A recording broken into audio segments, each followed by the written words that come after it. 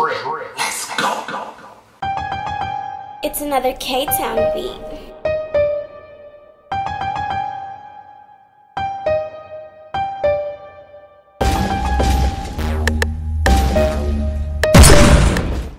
YouTube, YouTube, YouTube, YouTube, YouTube. It's your boy, Mr. Outliner. I'm back. Got a brand new video for y'all today. I got somebody got ways. He been woofing. I don't know how long he been woofing. Probably three weeks, four weeks, five weeks. We don't know. But look, I'm about to pick this out. You see this thing coming through, man. Look. Anyway, we got the wave. Somebody told me they wanted me to do a wave tutorial. I'm doing a wave tutorial. Is a light fade with waves. Light light light drop fade wave barber tutorial. Look at look at this thing, man. It's thick. You know what I mean? So when I'm done with it, I'm gonna make it pop. I'm gonna I'm gonna show y'all how to get down to the get down. You know what I mean? We gonna get down to the get down. But uh anyway, so you see how thick it is, you see its edge up, nothing there, but I'm gonna make it there. You see it's light right there in the edges of the corners, but right here the first guard I'm gonna use on his hair. We got the one and a half guard right here. We're gonna use it, cut it down. You can see the waves start to pop already. You see the waves coming, they popping already. That's the good thing about woofing, you know. So how to make deep waves, how to get better looking waves. You're gonna have to woof in order to get them. Woofing is part of the process if you want deep, rich waves, along with brushing and maintaining your hair conditioning and things like that. You need that also.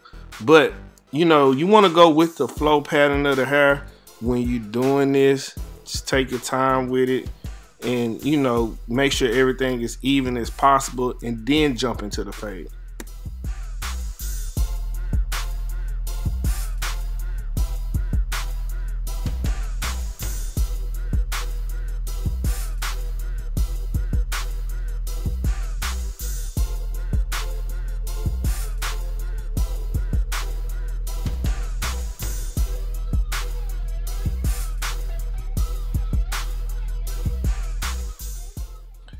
Now, after you get everything knocked down to the length, the desired length, you want to go to the next step, which is we'll go open with no guard and we'll go up and make our first guideline. Now, remember you do everything open and close, but for here, since we're doing a light fade, we want it open. It's going to make it about like, it's real close. It's like half it's like using a half or something like right? It's real close it's, it's really close to ball but you do that all the way around the head and then you go into the next step which is after this we're going to use the one guard. So that's and we're going to use the one guard open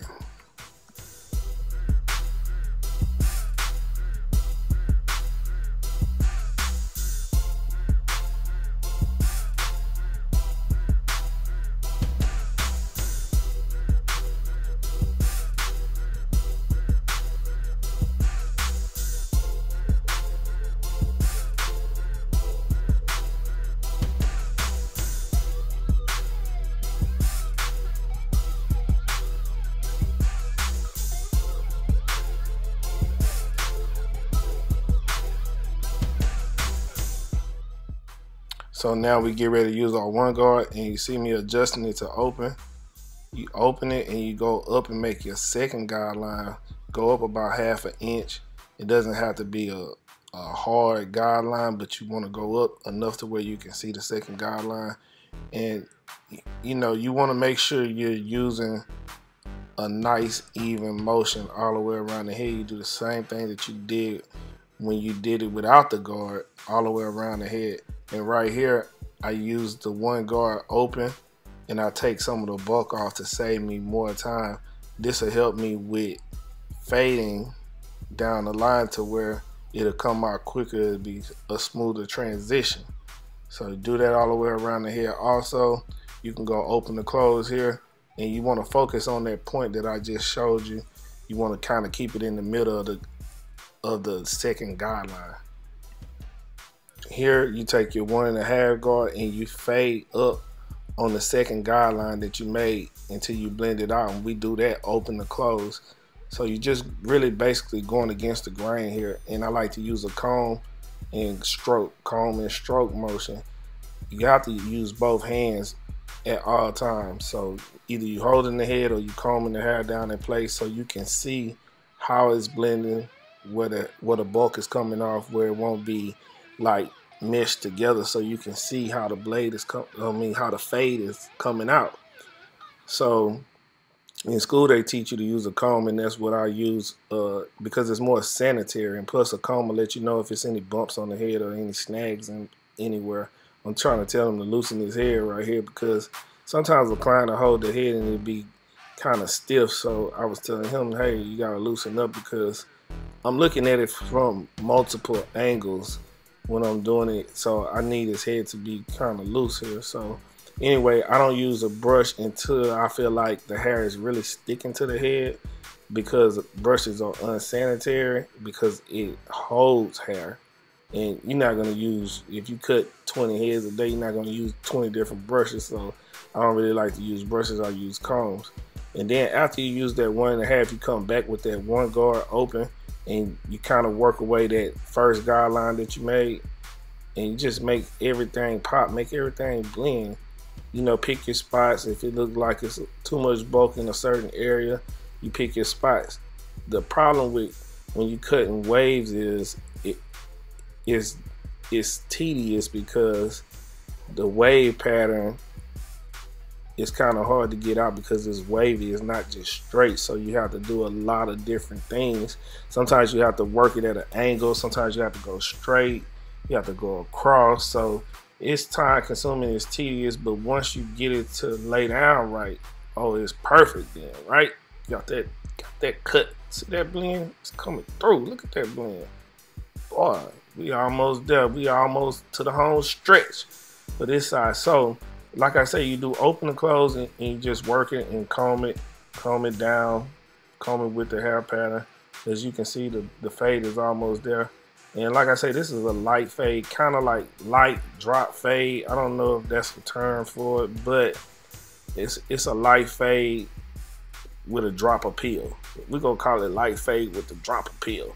Then after that, you take the one guard off and now you have no guard. You go open and close again, but you don't close it because close will make it really too close. You want to be able to see the line all the way around the head. That's the purpose of it being a light fade. So you can see the line all the way around the head on the back of the neck around the ears and around the front. Now you see how the fade came out? It's coming out good. You're looking at it yeah I like how this is coming out. Don't forget like comment subscribe tell a friend and tell a friend. You know how we do it after that you might need to come back with the one guard just to knock some more bulk off if you're not happy with the way the fade is I wasn't happy, completely happy with it. I like the fade part, but it's a little bulk that I want to get rid of. So I take that same one guard, knock it down, get it to where I like it, and then you know I work my way to the front of the head. I want to kind of save myself some time, so I'll use the guard until I can't use it no more. Knock some of the front down just to prepare the edge up before I go to the other side. Now, when you get to this side, you do the exact same thing. You come with the one guard, the one and a half guard, you use those two guards, and then you use no guard until you get the blend the same way that we did on the other side.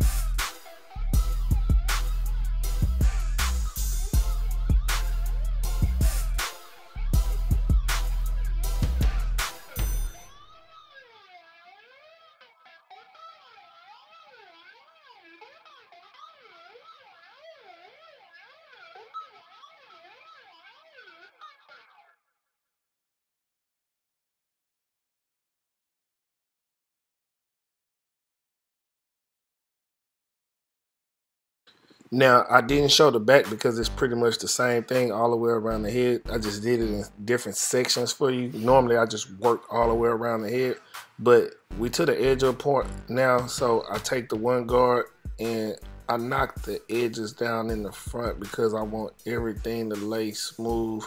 Uh, when you have wavy hair, sometimes it curls up and under or over, and you can't really see the hairline. So we had to knock it down a little bit and we just stand on the edge. You see that? Stand on the edge. Not too much. Boom. See that? So now on the edge of frozen stiff, you notice what I use. I'll try to leave a link in the description for it. Frozen stiff is a good uh, stiff product. It's it's a holding spray. So this is the holding spray, my go-to holding spray. So on the edge up, you start in the middle, you work your way over, left to right, right to left, whichever way you want to do it. We do that. Boom, we get the edge up. And like I tell you on the edge ups all the time, you just want to take your time, you want to visualize it, you want to see where it's going. Right now, everybody's view of the edge up is different, lineup is different. This is how I do mine when I'm doing videos. A lot of time I stand right in front of them, but because I'm trying to show you for the video, sometimes I'm not standing right in front of them, standing to the side, off to the side. Uh, you can use your mirror if you don't like to stand right in front of them, but this is how I do it. And you see I'm not pushing this line back in. You see the, the line where it is, right? And I'm asking do he want long sideburns or short or pointed? He wanted them short, so you see what we're doing right here. And this is the new Wahl Detailer LIs that I did a review on. If you haven't seen the review, I'll try to leave a card up where you can see it, see the review. If you look in the top corner, I'll have a, a card there. So check it out. Uh, the blade is really nice. I'll show you how to set them also. So you see this? You see how, how they hit, made a good line. We didn't have to force anything right here. That's what you want to do. You don't want to force it. This is part of the light fade where you can still see the lineup around the ears, on the back of the neck. You see these these tap and goes right here. I call them tap and go, tap and go. You know what I mean? So these will get you get you there faster. You don't have to put in a lot of work. Now to the other side of the edge up, you do the same thing that you did to one side, you do to the other side. If you feel like it's off a little bit, you have to look at the mirror, try to make sure you get it get it straight. You see me looking in the mirror. I'm trying to see the mirror. Also, on this side, I'm to tighten it up. Take my time with it. This is where he's light at on this side. So we have to take our time and match it up. You see that? So now, you see I'm not pushing his edge up back. You see where his line at. One hit of quitters right there. That's what I call these, one hit of quitters hit it and go. See how it makes a sharp line. Come around, get everything together. Like I say, you can focus on the details after you get everything almost done. Focus on the details, come back, sharpen everything, make it super crisp. Also, you finish making the line in the back. Same thing we did to the other side. We're just doing the same thing on both sides. So just take your time, like I said, make sure you clean it up. You see how that fade look? That fade is like perfect, right?